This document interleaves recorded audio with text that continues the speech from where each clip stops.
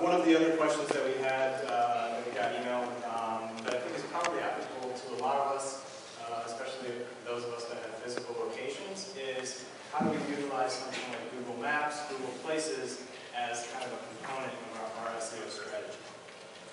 So I'll, I'll take that initially. So local search has been increasingly emerging as a big area. Everybody hear me?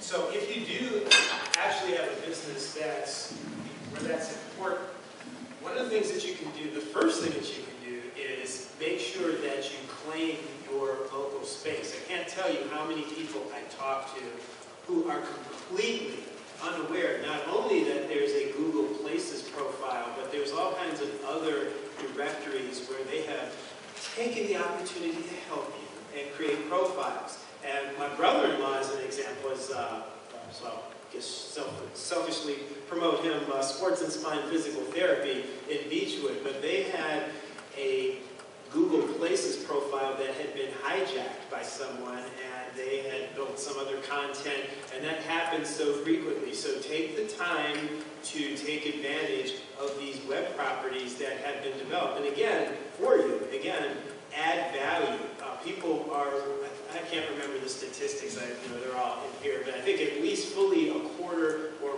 more of the searches on Google have local intent.